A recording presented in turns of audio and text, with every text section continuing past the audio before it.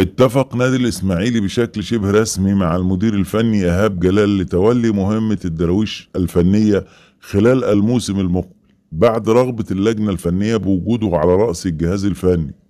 لعودة الإسماعيلي لمكانته الطبيعية والمنافسة على القمة في مسابقة الدوري المصري الممتاز بعد سنوات من الوجود في مناطق الهبوط بجدول الدوري. وكان إيهاب جلال المدير الفني السابق لمنتخب مصر الأول ومصر المقاصة والزمالك وعدد من الأندية تولى تدريب الإسماعيلي من فترة قريبة ويعلم بجميع الأزمات التي يمر بها النادي خلال الفترة الحالية.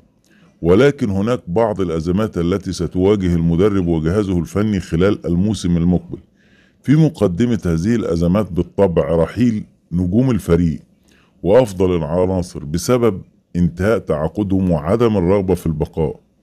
وكان أول اللاعبين الذين رحلوا هو أحمد مدبولي صانع ألعاب الفريق والذي رحل لفريق البنك الأهلي في صفقة انتقال حر.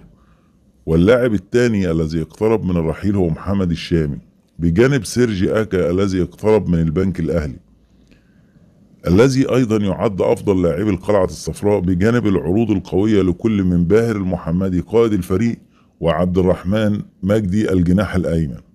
وبالطبع سيعاني الإسماعيلي من عقد صفقات جديدة إلا في حال انتهاء النزاع مع فيفا. وحل أزمة القيد بعدما أرسل فيفا خطاب رسمي للاتحاد المصري لكرة القدم منذ أيام بإيقاف القيد عن نادي الإسماعيلي بسبب اللاعب التونسي نور الزمان الزموري. وكان نور الزمان حصل على حكم من جانب فيفا بتغريم الإسماعيلي 600 ألف دولار لصالح اللاعب. في الخامس من مايو الماضي ومنح الإسماعيلي مهلة للسداد لمدة 45 يوم إلا أن النادي لم يسدد الغرامة.